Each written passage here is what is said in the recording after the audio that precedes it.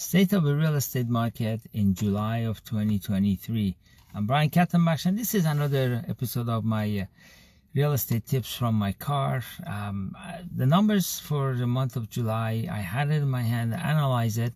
Uh, we are putting it into a stand up on the board type of uh, analysis. But before that, as I'm doing it every morning, I give some updates on the numbers are basically in terms of the inventory. We always talk about two things the demand, which is number of sold units, and the other part is the supply, which is the number of homes that comes for, for sale. And this the balance between the demand and supply is economy 101. That's what uh, that's what um, dictates every price, anything in any market.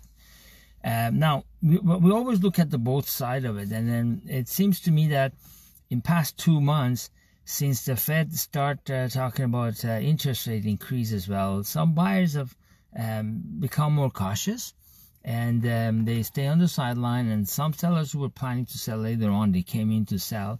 So we see from end of May or June 1st to end of July, the inventory has gone up about 35, 36%. So we had about 1,000 homes for sale on the supply side and as of yesterday was 1400 so you can see close to 40 percent give or take. And um, on the on the on the uh, on the demand side uh, for the month of may we had like 844 sales. Anyway somewhere in mid 800 and as of yesterday i believe we were under 500 and the last month was 640 so we see a, a gradual decline in terms of the the sale. Now Part of it is because of seasonality. People don't believe us, but I tell you, July and especially August is one of the slowest months because people go on vacation. Uh, people realize there's only one month of summer left. Kids go back to school in uh, in September, so they they just put buying a home or moving aside, and then uh, they want to enjoy the summer and the nice weather we have. I don't know how much of that is related to that. In past three years, because of pandemic, things have been shifted, but July has been the July and August being the August. July and August as some of the slower months or maybe lull months, so there's less activities.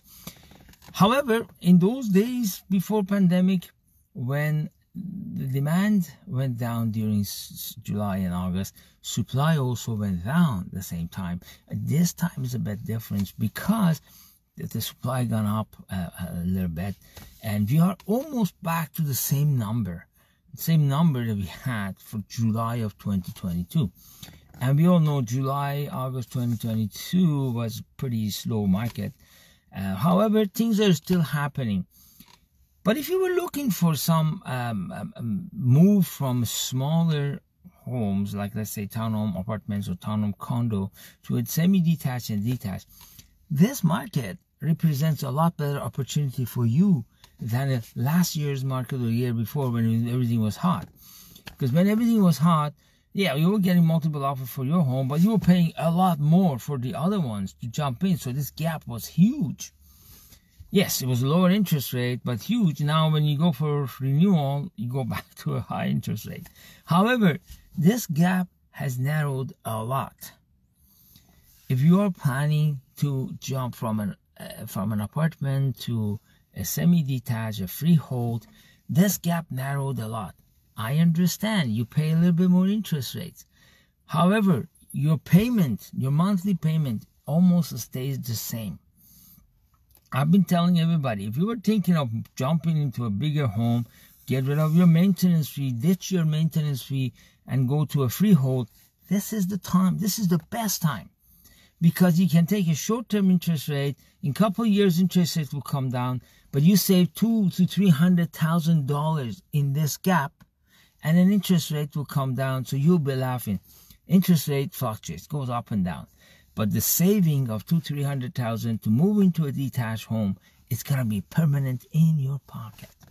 Trust me, we've done the math. We're a real estate consultant. Let me know. I can do the calculation for you. I can do the diagnostic. I can show you exactly what you could do to get rid of that damn maintenance fee, ditch your maintenance fee, and move into a, a detached home uh, with no stress because this market you have choices you can get the best uh, price for your uh, condo or townhome because those are still on demand and then you move into something nicer We are a real estate consultant. Call me or text me at 647 848 2652. Or you can email us, DM us, any way you like. And by the way, if you like what we put out here, we put out a lot of good information about real estate. Real estate is our life from morning to midnight every day. Uh, just subscribe to our channel and turn on the notification. We'll let you know when new good informations are coming up. All right. Until tomorrow, have a fantastic day and look forward for my official report, which is come later on today when I put numbers on the on the screen and I tell you the full analysis in a very statistical way. Okay. Have a fantastic day. I'll talk to you tomorrow. Stay tuned.